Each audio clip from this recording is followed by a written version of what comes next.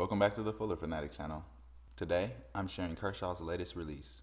It's the 720 Highball XL. And before running down specs, I will note that for me personally, this was the most anticipated release of 2021 from Kershaw. Majority of this stemming from me taking a bit of a liking to the original Highball, and the other reason being I'm really fond of a fidgety, gentleman style flipperless folder, especially one running a good cage bearing system. Coming in with a handle length of 4.3 inches, the XL's frame is made from stainless steel that has been coated light gray, then bead blasted. At least by Kershaw standards, I will say they've tried to step it up a bit on this build. The pivot has been anodized blue. The show side, being a D-shaped capture pivot, has a shield pattern milled into it and sits proud of the frame, while the lock side is a concave disc style pivot that sits flush to the frame. The XL is slightly contoured and smooth on every edge, Although, admittingly, the handle looks very awkward, the build has great ergos that can't be denied. Coming in with a handle thickness of 39 hundredths of an inch, Kershaw really thinned this version out, and bearing the same symbol as the extremely underwhelming NORAD, which I believe is the same design team behind the Highball series. And the XL doesn't suffer from the same fate as the NORAD, being very thin and sharp in addition to a stiff edge bearing lock bar.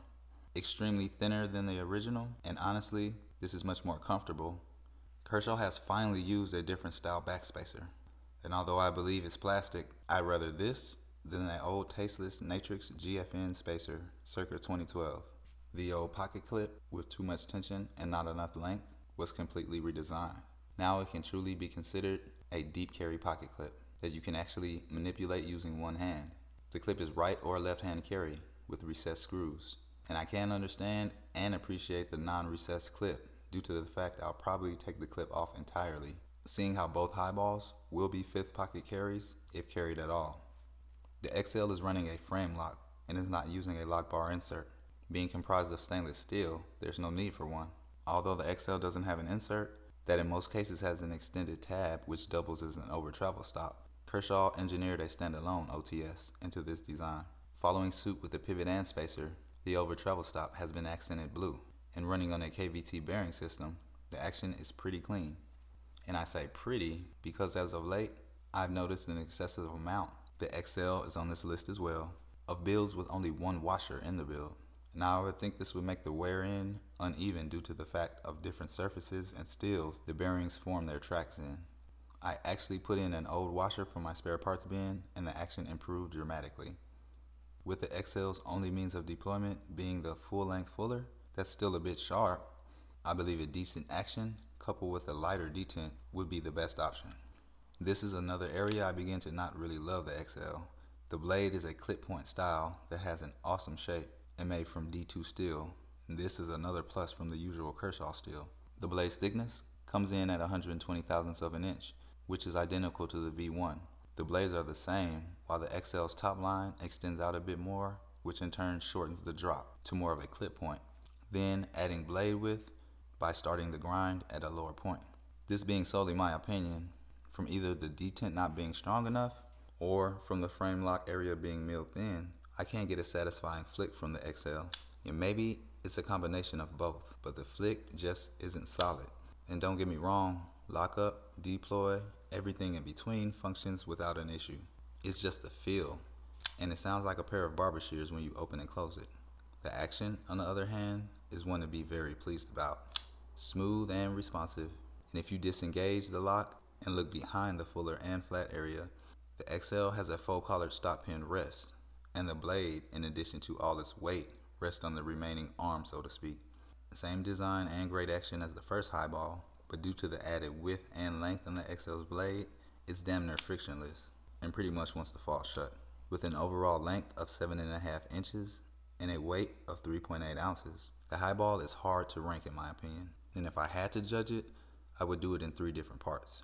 If this was just a new Kershaw offering and a V1 of the model, it would score extremely high, the plastic backspacer being majority of my issue. Judging it while standing next to its predecessor though, it scores a lot lower than I anticipated. The clip and spacer are both better than before, but with me being a big fidgeter, when it comes to folders, the XL doesn't cut it, no pun intended. This is the very first and hopefully last knife I open up and try and add detent resistance. Even with the tune and adding the washer, the detent remains hair trigger. With the sharp edge on the fuller, I can understand the factory tune, but it's just not my thing. Not to mention, I can't pull off a flick that feels right. Leaving the bad sounding part out of it, it still feels off. But I do get that feeling when manipulating the smaller V1. Another reason I'm not overly impressed is the size or lack of size difference and I think it's closer to the size difference between a Kershaw Mini and a normal midsize. And honestly, not even that much size difference. And last is the $55 price point, which I believe I thought it would dethrone my beloved Natrix as Kershaw's ultimate fidgeters budget buy. But I was wrong. Although I will admit the XL has grown on me more and more by the day. Other flippers I've picked up for a couple of bucks cheaper come with much more in the design, materials offered, fit, and finish. And speaking of fit and finish, I must ask, has anyone noticed half of the grind on the tip missing, like being totally off? Out of the six or seven that ended up at the local shop I picked it up from, I had to sift through them all to find one that wasn't totally horrible. And I'll have to leave the jury out on this one and come back with my full thoughts. But as of now, from what I was expecting, the XL is also very underwhelming. But I will give it a lot more than three days before I totally dismiss it. With that being said, please tune back in for part two of the XL breakdown. And sub to the channel, hit the like button if you enjoyed the content, and with that, I'll be signing off. From the Fuller Fanatic.